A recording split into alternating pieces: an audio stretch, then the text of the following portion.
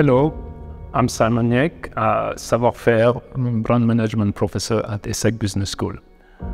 I would like today to introduce uh, you to our international residencies program. I would like to talk more about uh, the business of luxury uh, content of our international residencies. What we offer, if you join us, we will be walking you through actually the three main uh, sectors and dimension of luxury brand management. As an ecosystem, we will introduce you to the savoir-faire, the shop, the artisan. You need to understand that before moving into the idea of building a luxury brand. And after building a luxury brand, we will have the last step of our value chain, which is managing experience, retail with consumer. So by joining this international residency at ESSEC, we will basically go from artisan all the way down to the shop and relating to consumer. That would be the content. How do we do things at ESSEC?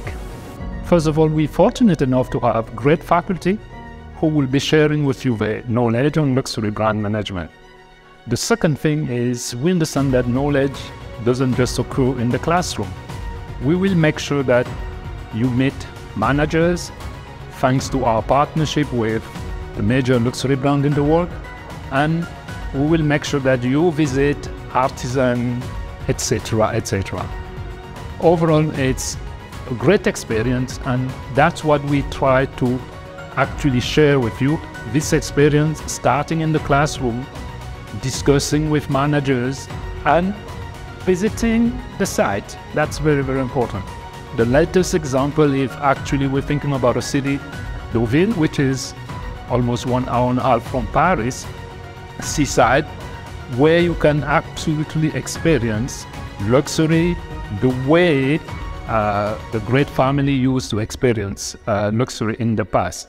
In a nutshell, you would learn what it takes to be successful in the luxury brand management by experiencing it, uh, by going at the artisan, by sharing with managers and ESSEC faculty.